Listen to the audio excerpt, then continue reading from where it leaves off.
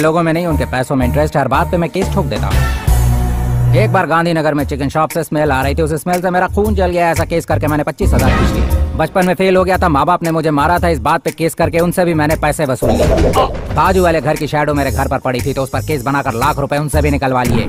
Real world में भी इस तरह का एक अजीब व्यक्ति है जिसके पास कोर्ट में सबसे ज़्यादा केस करने का गिनीज वर्ल्ड रिकॉर्ड है। हालाँकि इस पर एक अजीब बात यह भी है कि इसने गिनीज वर्ल्ड रिकॉर्ड देने वाली संस्था पर भी मुकदमा कर दिया था क्योंकि उससे बिना इजाज़त लिए किसी किताब पर उसकी पर्सनल लाइफ के बारे में लिखा गया था। कौन है ये लोग? कहाँ से आते हैं इस व्यक्ति ने अपनी ज़िंदगी में करीब 2600 से ज़्यादा केस कर रखे हैं जिनमें से वह कई जीता भी है। इन्होंने अपने दोस्तों रिश्तेदारों मंगेतर पुलिस जज सेलिब्रिटीज और फ़ेमस कंपनीज़ के खिलाफ भी मुकदमा किया है। आपको क्या लगता है? ऐसे व्यक्ति की ज़िंदगी का पहला मुकदमा किस व्यक्ति पर हुआ होगा? इसने अपनी ज़िंदगी का पहला मुकदमा अपनी माँ पर ही कर दिया था। यह मुकदमा इसने अपनी माँ पर इसलिए किया था क्योंकि उसकी माँ ने उसका पालन पोषण अच्छे से नहीं किया था। और तो और, वह यह केस जीत भी गया। उसे बीस हज़ार डॉलर का मुआवजा भी मिला। खत्म।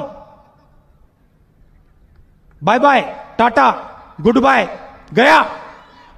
इसके नाम से अलग अलग कोर्ट में अलग अलग लोगों और कंपनीज़ के खिलाफ केस दर्ज किया हुआ है। इतना सब करने के बाद इन्हें करीब आठ लाख डॉलर का मुआवजा मिल चुका है। इतना सब होने के बाद भी ये बंदा रुका नहीं। एक टीवी शो में इसे बुलाया गया जहाँ उससे एक सवाल किया गया कि क्या वजह है कि इतनी शोहरत होने के बावजूद भी आप अकेले ज़िंदगी गुजार रहे हैं? इसके बाद जोनाथन हंसे और वहाँ से शो छोड़कर चले गए। और फिर होना क्या था? उन्होंने इस टीवी चैनल के शो के खिलाफ भी एक मुकदमा दर्ज कर दिया क्योंकि उस दिन शो में उनकी बेइज्जती की गई थी।